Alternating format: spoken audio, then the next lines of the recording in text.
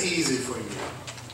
Many times in life, we're kind of confused of what to do next. Like, like what should I be doing? Uh, like, where do I start? Uh, how do I get my life on track? A, we spend years trying to figure that out. What is my calling? Anybody have that thing? What should I, what's my purpose? Jesus makes it easy. He said, listen, here's, here's all you need to do. I want you to sell everything you have. I don't want you to give it to the church. I want you to personally disperse the proceeds from selling everything you have. I want you to have some skin in this game. Why would Jesus ask him to do something so incredible? The man was already a good man. He was already a faithful man. Why would Jesus ask him to do that? Somebody help me with that. Yes, ma'am, please. He loved his stuff more than he loved Jesus. He loved his stuff more than he loved Jesus. Yes, yes, that's, that's true. That's true. That's right on the surface, yes. All right, anybody else? Yes, ma'am. And it would change his heart Oh. if he was to actually experience the selling, Oh, the giving yes. up, Yes. the giving to others and Yes. blessing them. It would change his heart, not just his mind. Oh, that's a good point. That's a good point she brings out. To be personally involved in blessing other people is going to work a change. in you. Yes, ma'am, please. He didn't know what he lacked, and that would tell him what he. Didn't know what he lacked. Yes, yes. Sir, yes, please. Excellent. Yes. I don't think his problem was money. Okay. Because Jesus said one thing, you lack. Now, if I'm sitting here and I don't have any money, then, then this is not talking to me. Okay. But this is talking to all of us. Yes. One thing that we lack is the unreserved surrender to the Lord Jesus Christ, whether it be money, whether it be our thoughts, Yes. whatever it is. Yes. That one thing is for all of us. Yes. Uh, absolutely true. Y- yes, yes, please. Just a little thought about uh, the sense of security. Uh, Security, and so if you put your security, it it implies trust or faith in the one that's talking to you. So he would have to transfer his sense of security to something else, Yes. someone else. Uh, I'm glad God doesn't expect us to do that. You have to be willing to do that. I'm glad that God doesn't expect us to transfer our sense of security and trust to Him alone. I'm glad I can depend on my 401k for my retirement. I got a little money set aside. I got some things. I'll be okay. I don't really have to trust God that much. Unless I get sick, then I'm going to really ask for Him. So she, she raises a good point. That, that, and, and all through the Bible, as soon as she said it, I'm thinking about story after story after story after story where Jesus' purpose was to get his disciples and others to trust him. That's all he was trying to do. He, I mean, listen, then I'm, then I'm going off. Uh, I'll get back on track. I'm just pulling over for a second. The disciples are in the midst of a storm on the sea. They're seasoned boaters. They know everything about surviving the sea. A storm comes up that is so bad that they actually thought they were going to die. This was a storm they had never experienced before. In their entire lives, they had never been in a storm this bad. They knew they were going to die. The lightning flashes and they see Jesus in the boat asleep. He's sleeping like a The disciples wake him up. They say, Carest thou not that we perish? That's, that's what they're, they're like, don't you, don't you care? We're about to die. And here's the, here's the amazing thing. We fast forward the story. Jesus gets up and he rebukes the winds. Now, I believe personally that he didn't scream out aloud, you know, peace, be still. I believe he just said, peace, be still. That's the kind of power I think Jesus said. Just, peace, be still. It was over. But the amazing part of that story is that he turns to the disciples and asks them, why were you afraid? We're about to die. And you're asking us, why were you afraid? What I hear Jesus saying is, is saying is, don't you know how much I love you? That I would not allow anything to happen to you Don't you know that by now? After all we've gone through, that you don't have to fear with me. It's an incredible story. But it's one that's repeated over and over and over again. That he wants us to trust him, but out of love. I guess I saw your hand back there, yes. He told them they were going to the other side. So, yeah, I like that. Which means we're going to get there. I I like that. I like that. Anybody, anybody else see something in that story? Yes, yes, yes, please. Well, I think he's saying don't be afraid of dying also. Okay. Because God doesn't always preserve life. It's true. It's true. I mean, there's story after story where a prayer was not answered. And we know in our example, death is the enemy of man. It is the last great enemy that will be destroyed. We were not created to die. That's not why we were made. I mean, humanity is so fascinating that God wanted us to live forever. There's a detour now because of a bad choice. We are all paying the price of someone else's bad choice. So that's what we're that's what we're, we're dealing with. But God is so loving that He's got it all worked out. He says, in a moment, in a twinkling of an eye, all this stuff is going to be past. You won't, you, you'll say, like, I remember Ellen White wrote that, she wrote that heaven is cheap enough. Amen. Everything that she had gone through. Heaven was cheap enough. I couldn't recall my trials and tribulations and pain and anguish. That's how, that's how loving our God is. So, okay, so uh, we're, we're supposed to be, did I miss anybody? I'm sorry. Yes, ma'am, please. I happen to be a worker. I'm thinking of the rich young man, and I couldn't relate to the finances. But I can be busy getting programs and doing things. We got stuff. During the COVID, all that got shut down. Mm, And I was left without any programs, anything to do, yes. but go out and work uh, disaster response with other people, meeting people with their needs. And I essentially wasn't running it, I was helping.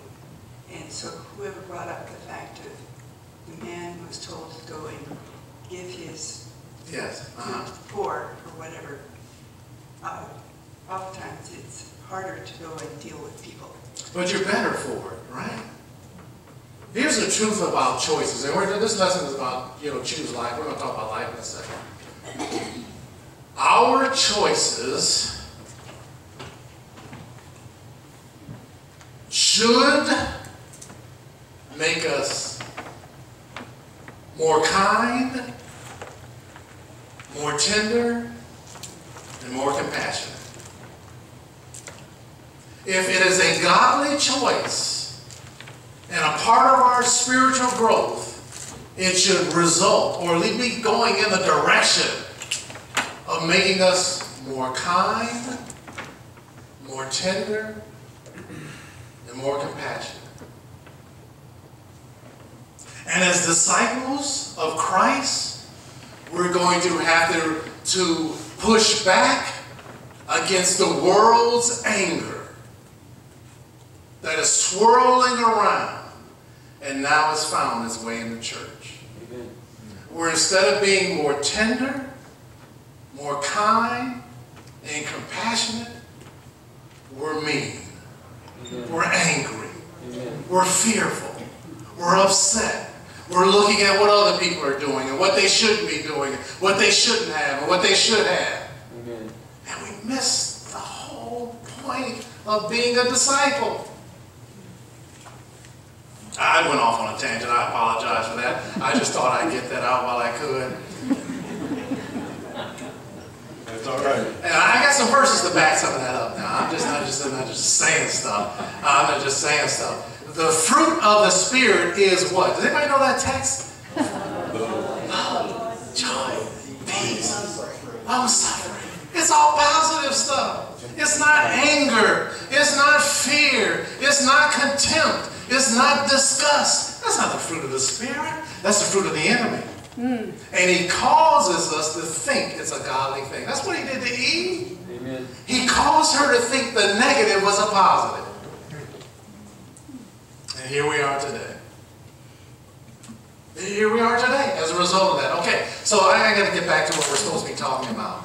Uh, let's see here. We were in, we just read Mark chapter 10. Uh, let's get back to Deuteronomy chapter 30. And I just want to read another verse. I think I have another few minutes here. Uh, let's see here, chapter 30. I have to ask you a question here. Okay. I'm going to use I'm going to use our um, our memory text, verse 19. I'm going to read this one. It says, "I call heaven and earth to record this day against you, that I have set before you life and death, blessing and cursing.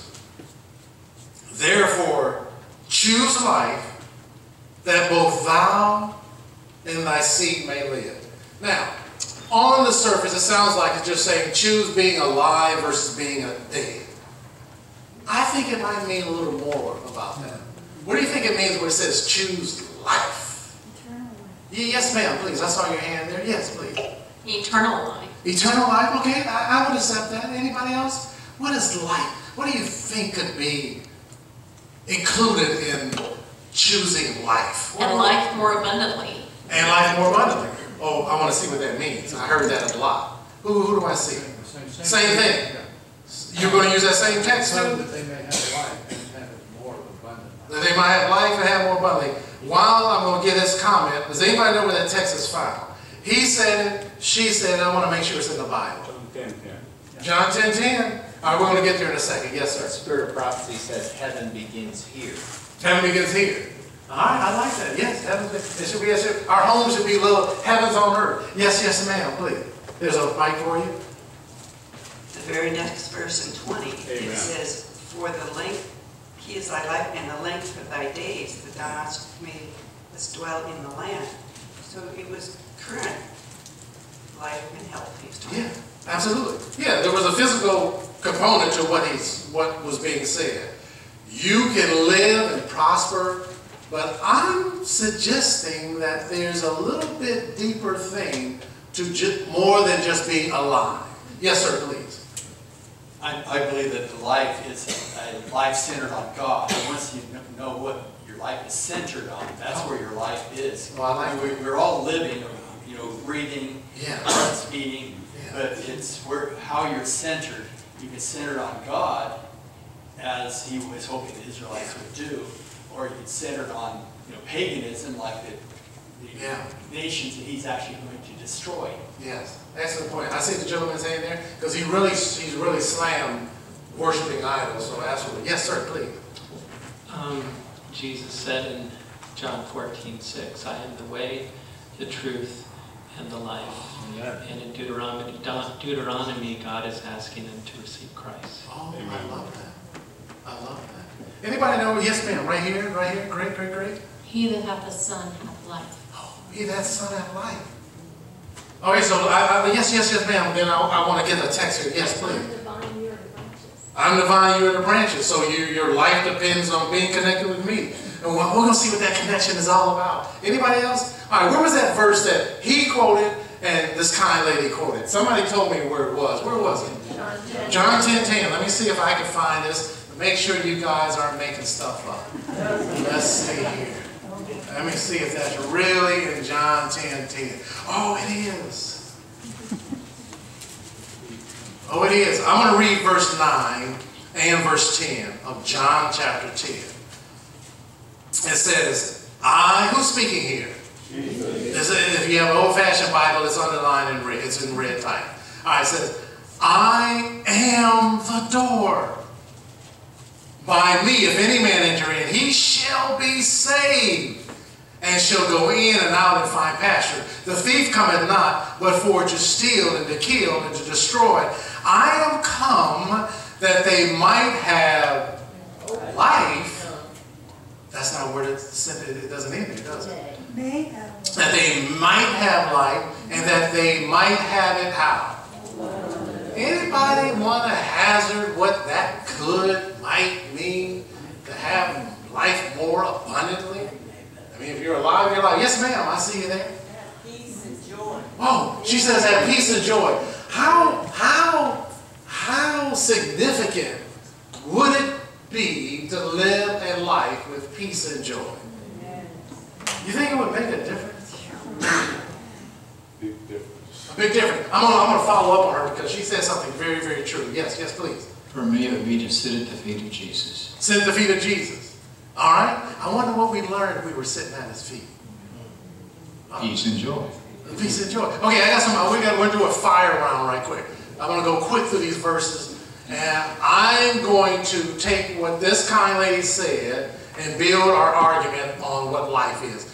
And some of you guys will know these verses by heart. Psalms 119, 165. 119,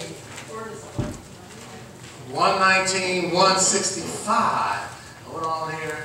Um, number 119 is a long verse, a long chapter. Oh, just a side note. I was at our church um, some time ago, and there was a young boy. Uh, maybe he's around 10 or 11. His parents, I know he had, he recited the entire 119 Psalms. Every verse in front of the church.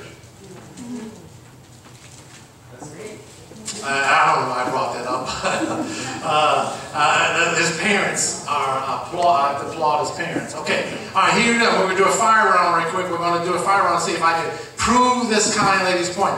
Verse 165 says, Great peace have they which thy law, and nothing shall offend them. That's one, that's one proof point of what she said. I'm going to jump all the way to the New Testament, Romans 8 6. Romans 8 6. Let's see if I can get that quickly. Romans 8 6. I'm going fast now. Oh, here it is. Romans 8 6. It says, For to be carnally minded is death, but to be spiritually minded is life and peace. I got one more. Uh, I'm going to go jump back to the Old Testament. We're going to go fast. I'm going to go to the book of Isaiah, chapter 26. Six And three. 26. Did I miss something? No. Oh, okay. 26, 3. So, okay, you go the first I was going to. Okay, 26, 3. And I'm going to read it. I'm going fast now. It says, Thou will keep him in what? Perfect peace. Man, how valuable that would be today in 2021 to be in perfect peace. It says, Thou will keep him in perfect peace, whose mind is what? Stayed on thee. Gotta make the right choice. And because he what? I told you it's all about trust. I told you that's what it was about. Uh, I have one more verse. I have one more verse. John 16. You, you're going to know what this verse is as soon as I tell you. John 16. John 16 and uh, verse 33. John 16, verse 33.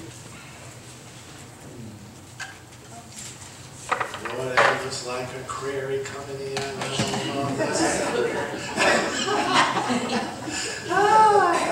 All right, John, John 16, verse 33, it says, These things I have spoken unto you, that in what?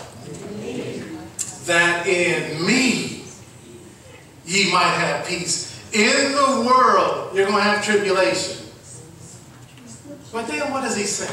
How can he, how, tell me, how could he say in one breath, in the world there's going to be tribulation, but be of good cheer? Somebody tell me how that works. How does that work? Yes, sir, please. Because of what verse that man quoted up there, John 14, 6. Jesus said, I am the way, the truth, and the life. I like that. I like that. Anyone else? Yes, ma'am, please. To live in Jesus is joy and To Jesus is joy and peace. All right, anybody else? Anybody else? Did I miss somebody? Yes, sir, right here. Isaiah thirty-two seventeen. 3217. What does that say, The sir? of righteousness is peace. The effect of righteousness is quietness and assurance forever. Hmm. That's a beautiful text. And it just proves this kind lady's point. And it goes back to what I was saying about Jesus' attempts to get us to trust Him. We can take a barometer of our spiritual experience by the level of peace we have. If I am tossing and turning all night and I am stressed out and my digestion is messed up because I'm so stressed, there's something wrong. I'm not saying there's not real issues that we have to deal with. Some of us are carrying heavy burdens. We're taking care of aging parents. We're taking care of children. We're trying to make finances work. I mean, there's, there's stress in life. But he said, in the midst of that, I want you to have comfort and I want you to have peace. And I want you to be stressed about that. I want you to be just like those disciples when they were when they were in that storm. And I said, Why were you afraid? That's what I'm saying to you. Why are you afraid? Don't you know how much I love you? That I love you so much that if you would just trust me, it's going to work out. It may not work out the way you think it should, but it's going to work out in the right way. But you got to trust me. And I am convinced that every day, in some way, that God is trying to lead us to trust Him more. Every day, there's some way. He's just trying to say, trust me a little bit more. I know you're going through something heavy. That's the result of a bad choice of our forefathers, of our, our Adam and Eve. But I want you to trust me that I have your best interest at heart. I'm not going to let you go through this thing by yourself. That's, that's, that's, that's life. That, that, that's what it is to have life. Oh, I, I think my time is just about gone. Uh, oh, somebody said no. Oh, fine. Somebody, somebody said no, not yet. All right, well, they said another 30 minutes. So. I'm going to go back for another 30 minutes. Uh, I want to go, I want to go uh, back to our text here and our memory text where we were at 37 and we're just going to just have, we're just have a few minutes. I knew I couldn't cover everything but I want to just talk about verse 17 just for just for four minutes. Just for four minutes. That's all we have. It says we're in chapter 30 verse 17 we've already read verse 16 15 verse 16 verse 19 we're jumping back to verse 17 and it says but if thine heart turn away, so that thou wilt not hear, thou shalt be drawn away and worship other gods and serve them. And then it goes to verse 19, the consequences of what that choice would be. Now, just, just for a few seconds, why do you think the people who had gone through so much and experienced so much of God's blessings would be drawn away to idols? Anybody have a, a thought on people with such a rich experience would be drawn out. idols? Yes, ma'am, please. There's a phrase that says familiarity breeds contempt. Okay. When people just get too used to what they took it for granted. Oh, okay. They took it for granted. I like that. I, I like that. Anybody else? That's, that's the Heart is wicked. The heart is wicked, deceitfully wicked. Okay, I get that. All right, yes, uh, yes, yes, please. Idols were something physical that you actually touch and feel and look at, and they were, and had special people to build them and make them. But they were there, and uh, I think they lacked that. They also saw these other great nations they were supposed to, over, to overthrow. They were fearful of them, thinking that their gods were more powerful than the God they were actually serving. There's just something about our human nature that we want to see and do. That's, that's why the faith walk is a challenge for some time, because we want to earn God's blessings and we want to see those tangible things. Yes, ma'am, I see your hand there. God put that hole in our soul for Him to fill. And anything we put before God, anything, that makes it an idol. Yeah, okay, that's true. And I think if we had read the previous chapter, it's, it, it talks about, listen, when things are going so well for you, you know, things are just going well, you know you're living in blessing. Don't, don't forget God. Don't forget how you got here. Don't forget all I did for you. And, then turn a different direction. Sir, was your hand up? Oh, your hand too? Okay, yes, please. There's a mic coming, so we'll make sure we hear you. This gentleman right here. All right, there it is, all right there, okay. But uh, the fellow earlier talked about touching the idols and this sort of thing. Egypt is two phases, two aspects. One is physical. They were delivered from, from uh, Egypt physically, but not spiritually. Mm, Good point. And God worked uh, 40 years trying to deliver them spiritually. Good point. Yeah, because we read the text, where they said we won't even go, we want to go back to Egypt, which is incredible. Yes, sir, and then I'll come to you. Jim, Yes, please. I think it's a mystery. A mystery. You know, we live in the midst of divine love. You God has told us and He surrounds us with it, and we have evidence in our lives. And yet we also live in the land of the enemy who's constantly trying to trip us up. Yes. Excellent point. And then before you comment, that's why we need church. Mm-hmm. I need to be encouraged by you. I don't need to be discouraged by you. I got enough drama outside. but when I come together with my brothers and sisters, let's encourage each other in the Lord. Let's give some testimonies about God, how God brought me through this week. Let's not talk about all the other stuff that's going on. Let's encourage each other because we're struggling, some of us. We're struggling. Well, but if I just have someone just to help me make it one more day, my life might be different. Yes, sir, please. I think it's the power of Satan. Absolutely. Absolutely. We know the enemy is going to, listen, just like he did with Eve, where we talked, started at the beginning. He will do everything he can to get us from the source of our life. I mean, this strategy hasn't changed. He'll get us to distrust God, to doubt his witness, his wisdom, and feel bad that we can't understand his, his plan. We can't see the plan. And we lose heart. Yes, ma'am, please.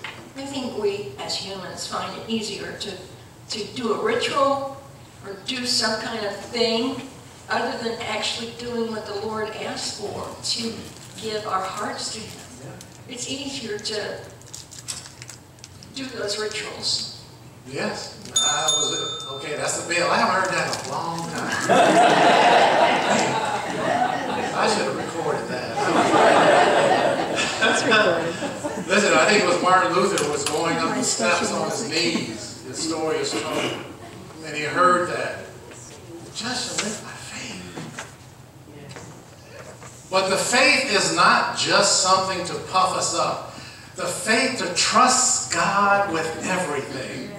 I'm not just trusting Him to help me get through a bad situation. I'm trusting with my soul. I'm trusting Him that the choice I made to follow Him is the right choice. I see other people prospering around me. I'm going to trust God. I see other people spending their time this way. I'm going to trust God. I'm going to bless somebody. I'm going to like this kindly say, I'm going to help someone. That's what He's calling the church to do. Our reward, the incentive, which we can spend a lot of time talking about, will more than compensate for anything that we gave up on this earth. Anybody believe that? All right, well, thank you so much. Listen, my time is now officially gone. She's ringing the bell on me. uh, but I think we're going to pray together before I sit down. And my prayer will be simple. God, just help us to trust you more. That's, that's all I want to pray right now. Let's just pray. Dear Heavenly Father, we've just simply gone through your word and we are convinced by the evidence of Bible texts that you want us to trust you more. You know our weaknesses. You know how prone we are to go in a different direction, to ignore your voice. But today, Lord, we're saying forgive us. Forgive us of our past. Just help us today, Lord, to trust you more. And we promise we'll have a testimony about how good you were. Yes, Lord. Because we're asking this in Jesus' name. Let us all say, Amen.